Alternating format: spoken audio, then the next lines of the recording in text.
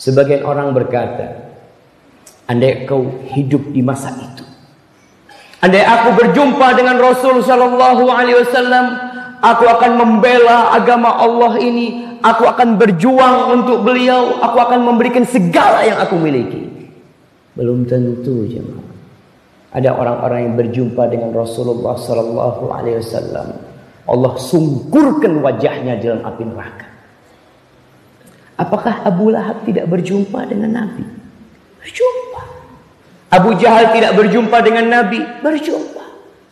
Ibn Ubay bin Salul, Rasul Munafiqin, tidak berjumpa dengan Nabi? Berjumpa dengan Nabi